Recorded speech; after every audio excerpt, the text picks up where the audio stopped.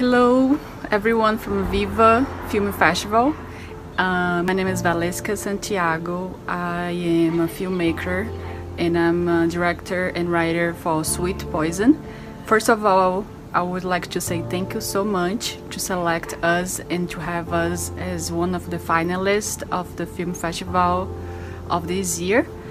Uh, we are very, very thankful to be part of this big event. Sweet Poison is a movie about the risks of pesticides used in Brazil. We filmed this small community in Brazil where they have been affected by pesticides uh, for the last 15 years or more.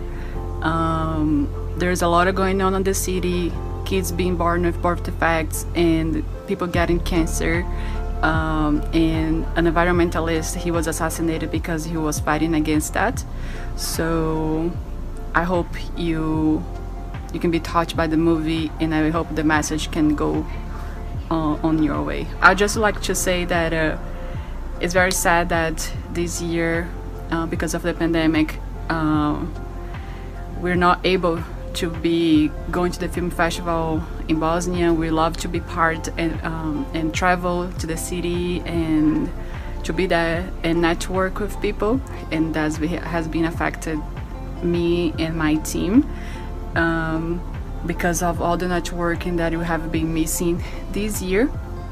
But um, we are just happy to be showing the movie and I really hope everyone enjoy and um, please follow us on Facebook. We have a page on Facebook, uh, which is Sweet Poison doc documentary film.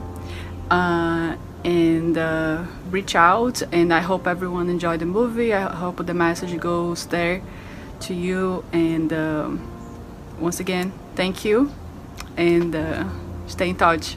Bye.